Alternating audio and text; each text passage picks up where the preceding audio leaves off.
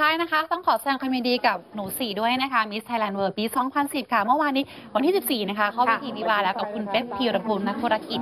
วัย 42 ปีค่ะ ก็ต้องขอแสดงความยินดีด้วยนะคะ แต่งงานในวันวาเลนไทน์ค่ะ ค่ะลากันไปด้วยภาพนี้นะคะ บรรยากาศของความประทับใจทั้งหมดยินดีด้วยครับ เรื่องเล่าเสาร์อาทิตย์เราลาไปก่อนสวัสดีค่ะสวัสดีครับค่ะ